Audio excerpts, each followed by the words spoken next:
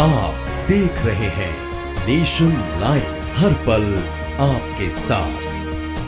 असम सरकार के मंत्री पीयूष हजारिका द्वारा फ़ोन कर दो पत्रकारों को धमकी दिए जाने की घटना का तिनसुकिया में पत्रकारों ने पुरजोर तरीके से विरोध किया। इसी कड़ी में तिनसुकिया जिला पत्रकार संस्था के द्वारा दुमदुमा डिगबोई, सदिया, काको पथार तिनसुकिया और मार्गरीटा प्रेस क्लब के सहयोग से तिनसुकिया जिला उपायुक्त कार्यालय के सामने दो घंटे का धरना प्रदर्शन किया गया।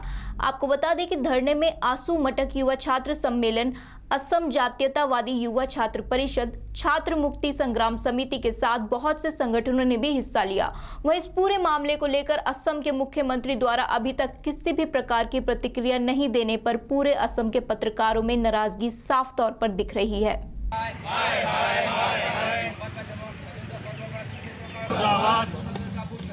मुर्दाबाद मुर्दाबाद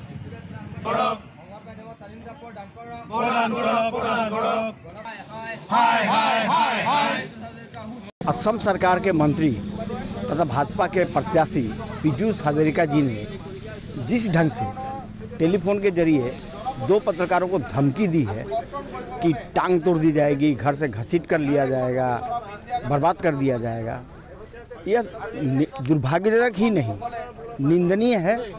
और सबसे बड़ी बात है कि यह संविधान के चतुर्थ स्तंभ पत्रकारिता पर हमला है।